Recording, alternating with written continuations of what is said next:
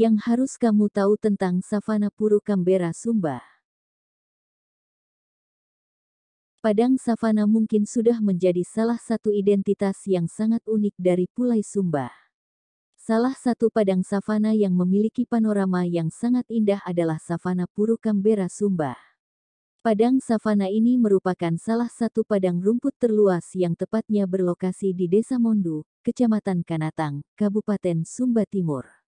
Apa saja keunikan dari padang savana Puru Canberra Sumba ini? Yuk simak penjelasan menarik berikut. Perubahan warna rumput ketika berganti musim. Padang savana Puru Canberra ini memiliki keunikan yaitu warna bukit dan savana yang ada akan berubah warna bergantung musim saat wisatawan berkunjung. Informasi dari masyarakat asli Pulau Sumba, Bukit yang tadinya berwarna hijau saat musim hujan dapat berubah menjadi warna kuning atau kecoklatan saat musim kemarau. Wisatawan bisa dengan mudah menemukan segerombolan kuda liar yang sedang mencari dan memakan rumput di savana ini. Banyak pohon kering yang akan kalian temukan dalam perjalanan di savana Puru Canberra, membuat setiap yang pernah ke sini ingin berkunjung kembali nantinya. Lokasinya sekitar 25 km dari pusat kota Waingapu dan dapat dicapai dengan mudah menggunakan kendaraan pribadi atau kendaraan sewaan. Dibutuhkan sekitar satu jam untuk mencapai lokasinya. Tidak ada transportasi umum ke tempat ini. Bagi pengunjung di luar Sumba, wisatawan dapat menggunakan layanan ojek atau kendaraan roda dua pribadi. Savana Puru Canberra tempat berpetualang yang sempurna. Padang Savana Puru Canberra bisa menjadi destinasi berpetualang yang sangat sempurna.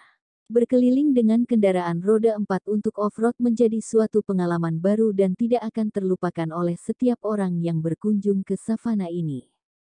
Keindahan dan eksotisitasnya tidak kalah bagus dengan padang savana yang berada di benua Afrika. Siapkan segala peralatan yang diperlukan untuk bisa menikmati nuansa savana yang sangat seru sambil melihat hamparan luasnya wilayah padang savana dengan warna rumput yang kuning kecoklatan ini.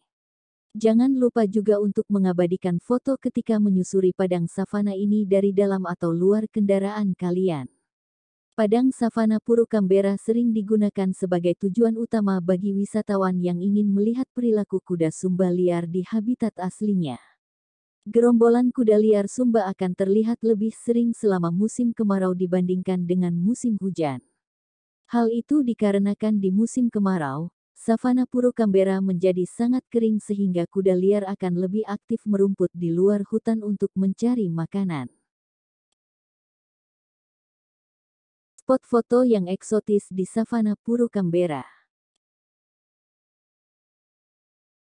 Jika kalian ingin mengambil foto dengan latar belakang savana yang memesona maka Puru Canberra adalah lokasi yang sangat sempurna. Terdapat pepohonan yang sangat jarang terlihat dan hamparan padang rumput keringlah yang menjadi pembeda dengan lokasi foto lainnya. Siapkan pose dan outfit terbaik kalian ketika akan mengambil foto di Puru Canberra.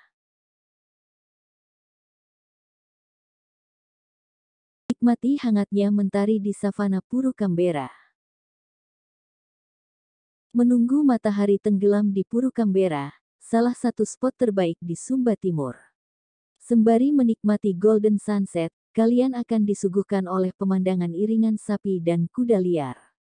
Setelah menghabiskan waktu yang tak terlupakan di padang savana Puru Canberra, wisatawan dapat melanjutkan perjalanan dengan mengunjungi pantai yang indah di dekatnya yaitu Pantai Mundu ataupun ke air terjun Tanggedu. Pasir putih dan lingkungan Pantai Mundu yang belum terjamah akan sangat membantu kalian untuk bisa bersantai dan menenangkan diri.